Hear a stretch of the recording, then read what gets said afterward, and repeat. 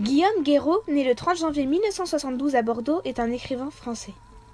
Léo s'est enfui de sa famille d'accueil à Perpignan pour vivre sa vie à Paris. Sans domicile, il fait la Manche. Accompagné par son chien Tchekhov, il commence à devenir le témoin de scènes surréalistes. Le roman parle d'une bête, la bête. Une bête que personne ne peut voir, entendre, toucher, ni même tuer. Une bête qui les dévore. Seul Léo perçoit visuellement le phénomène. Une sorte de bulle floue aux trois mâchoires imbriquées. Ce roman parle aussi d'amour, d'un amour puissant. Lui et sa copine Cosmina qui semble être à l'abri du danger. Un roman palpitant, addictif et rythmé.